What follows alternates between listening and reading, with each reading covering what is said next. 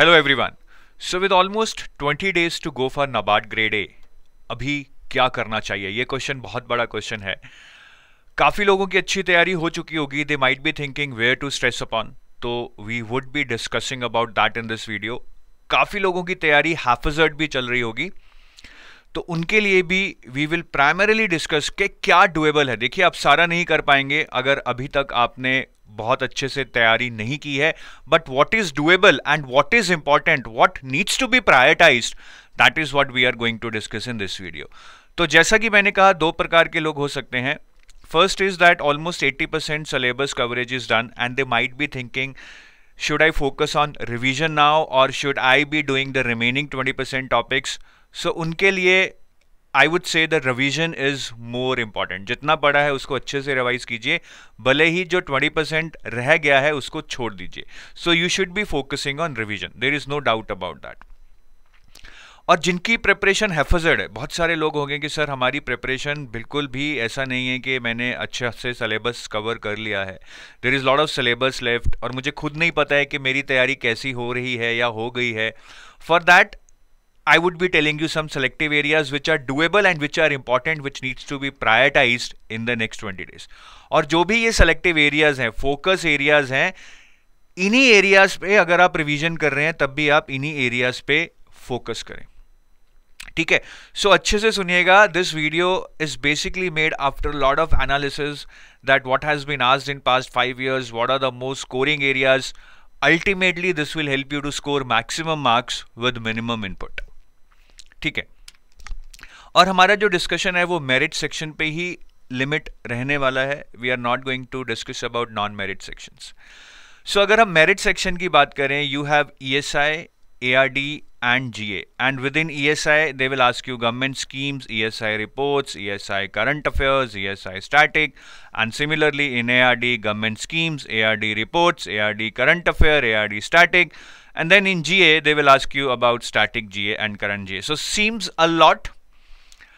अगर आपकी preparation haphazard है या आप रिवीजन करना चाहते हैं there might be confusion that where to focus on right now but this is something like raw data from which you cannot conclude anything but if i show you this weightage wise how each area has been you know faring in the past 5 years or this is the data from the last one year but this is almost the trend in the past five years so अगर most important areas देखें वो ये निकल के आते हैं A R D static 25 marks 20 से 25 mark का ये आएगा आपका then government schemes if you see in ESI 15 marks ARD again 8 marks so total is again around 23 marks of government schemes are asked then current GA the third highest thing that is asked in your exam ठीक है जो normal जीए होती है 17 marks and then ESI static 15 Marks ESI static दो जो question पूछते हैं, वो काफ़ी बार करंट से रिलेटेड होते हैं for example if Shanghai cooperation is in news they will ask you about no which are the members of Shanghai cooperation like that but we are including them as part of ESI static. So, these are the four most prioritized, or these are the four most priority areas for you right now अगर आप इतना भी कर लें so this is almost like 25 plus 23 48 plus 17 65 plus 15 this is almost around 80 marks of preparation अगर आप इतना अच्छे से कर लें, और ये नेक्स्ट 20 डेज़ में भी हो सकता है।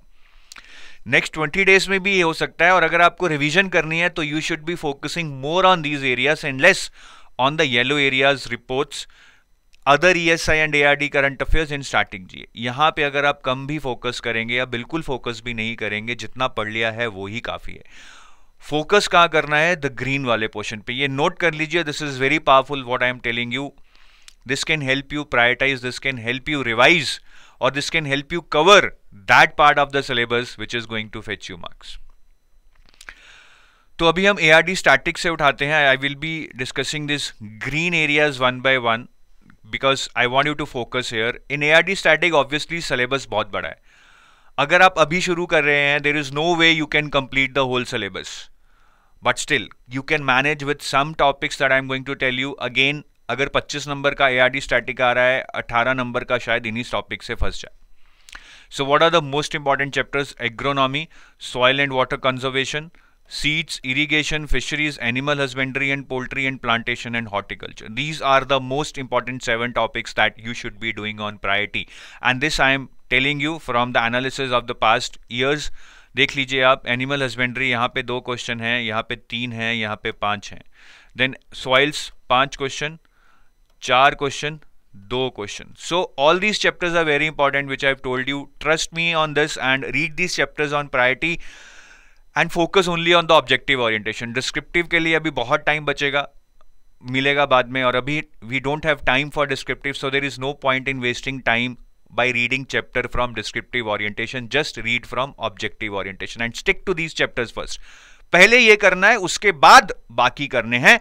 और नेक्स्ट क्वेश्चन यही होगा आपके दिमाग में, सर, क्या हम बाकी सारे चैप्टर्स छोड़ दें? बिल्कुल छोड़ दें क्या बाकी सारे chapters I never said that. Those seven chapters has to be taken on priority, but I would request you कि आप बाकी chapters if you are not able to find time वो नहीं होगा आपके पास अगर आप अभी हैफिट प्रेपरेशन में फंसे हुए हैं then you should at least do MCQs of all these chapters तो अगर आपका आपके पास एडुटैप uh, का कोर्स है आप उस, उसमें से एमसीक्यूज कर लीजिए। बुक्स में जर्नली एमसीक्यूज नहीं दिए होते हैं तो अगर आप सेल्फ प्रिपरेशन कर रहे हैं then there is a option we have recently launched MCQ master pack जिसमें 10,000 प्लस एमसीक्यूज हैं for every area A R D E S I current affair schemes reports quant reasoning every everything has been covered here through mcqs which is just costing 1500 so you can opt for this if you want. ठीक है but MCQ ज़रूर करके जाइएगा छोड़ के मत जाइएगा। The link for this course this this NABARD MCQ master pack is given in the description of this video then government schemes ठीक है? हमने बोला था first is A R D static then government schemes 23 marks 20 to 25 marks to be grabbed here तो उसके लिए those who are having the EduTap course read scheme tap और सिर्फ़ तीन महीने पे फोकस कीजिए अच्छे से रिवीजन में जून जुलाई एंड अगस्त उससे पहले अगर पढ़ा है, ठीक है रिवाइज करने का टाइम नहीं है, तब भी ओके है but please revise for these three months these are the most important months और स्कीम स्टैप में से सारी स्कीम्स कर लीजिए। ठीक है। अगर आप सोच रहे हैं कि सर कोई ऐसी 20-50 स्कीम्स की लिस्ट दे दो सिर्फ़ वो करके एग्ज़ाम क्लियर हो जाए so that is very difficult to tell you ठीक है। मतलब उससे क्या होगा कि फिर आधे क्वेश्चन ही होंगे स्कीम्स के तो ऐसे uh, कुछ मत टारगेट कीजिए। This is again not going to help you specially in phase two so I would request that read scheme tap for the three months ठीक है। अगर पूरा स्कीम स्टैप नहीं पढ़ सकते हैं या आपके पास एडुटैप uh, का कोर्स नहीं है तो at least do MCQs on all these schemes right तो वो सारे एमसीक्यूज आप कीजिए on all the schemes which are in news for past three months और अगेन अगर एडुटैप का कोर्स नहीं है this you can get in the MCQ master pack which is again you can get in rupees fifteen hundred comprehensive है काफ़ी MCQs मिलेंगे आपको schemes पे and ten thousand MCQs overall मिलेंगे। तो स्कीम्स को छोड़ना नहीं है। First priority is read schemes tap if you have the EduTap course for past three months otherwise do the MCQs from this MCQ master pack और इससे आपकी काफ़ी अच्छी तैयारी हो सकती है। 100 परसेंट तो नहीं होगी सिर्फ़ एमसीक्यू करने से but you will be very close to it current GA में अगेन जून, जुलाई, अगस्त स्ट्रिक्टली इससे पीछे मत जाइए। If you don't have time that would be no not fruitful 80 percent जो जीए आती है, वो आपके थ्री मंथ्स में से आती है। June July August would be the months to be targeted here because your exam is in September और उसमें ये टॉपिक्स आपको मेनली फोकस करने हैं from which the maximum number of question are आज books and authors sports themes कोई partnership हुआ है गवर्नमेंट का, कोई अलायंस हुआ है गवर्नमेंट ने कोई मेंबरशिप ली है साइंस एंड टेक में कोई डेवलपमेंट हुई है। ठीक है तो आप ये स्क्रीनशॉट ले लीजिए। This will help you categorize that which news are important for NABARD grade ठीक है।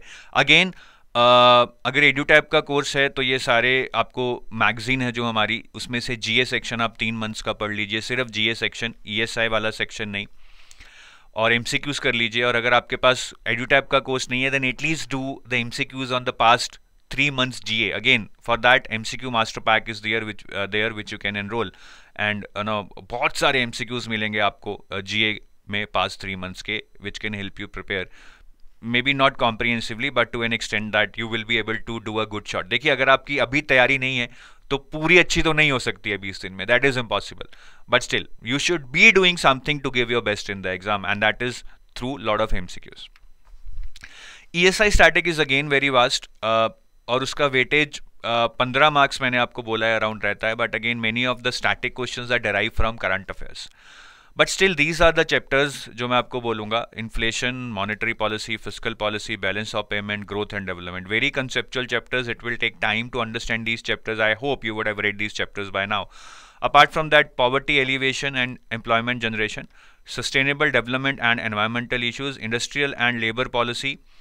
demographic trends social justice health and education these are the most important areas from which the maximum number in the esi static is asked बाकी again अगर एड्यूटैप का course नहीं है तो ये किसी बुक में से पढ़ सकते हैं। बुक में से भी नहीं पढ़ने का टाइम है तो एटलीस्ट एम तो कर लीजिए इन चैप्टर्स पे दोस्तों।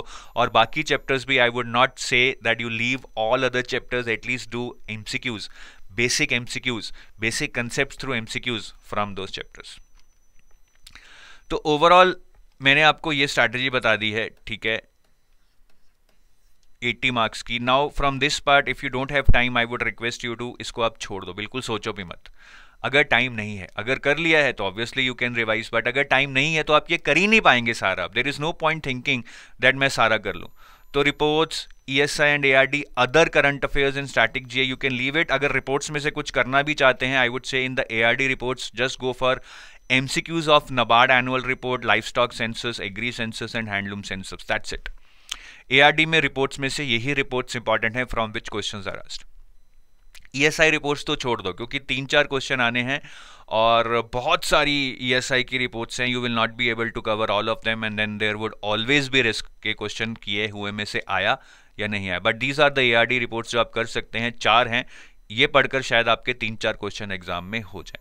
Again if you try to read all these reports in detail that is not possible I would request you अगर आपके पास एड्यूटैप का कॉम्प्रिहेंसिव कोर्स है, उसमें एमसीक्यूज दिए हैं इन रिपोर्ट्स के, उनको अच्छे से कर लें। और अगर एड्यूटैप का कॉम्प्रिहेंसिव कोर्स नहीं है तो वही जो हमारा एमसीक्यू पैक है, उसमें भी इन सारी रिपोर्ट्स में एमसीक्यूज दिए हैं, आप उसको ले सकते हैं, जो कि फिफ्टीन हंड्रेड में अवेलेबल है। So that's it guys just to summarize it again green areas पे फोकस करना है यहाँ पे फोकस नहीं करना है। अगर सारा कर लिया है तब भी रिवीजन में यहाँ पे फोकस करना है यहाँ पे कम करना है। बट अगर एक बार कर लिया है तो रिपोर्ट्स को भी स्टैटिक uh, जीए को भी E S I and A R D other current affairs को भी रिवाइज कर सकते हैं।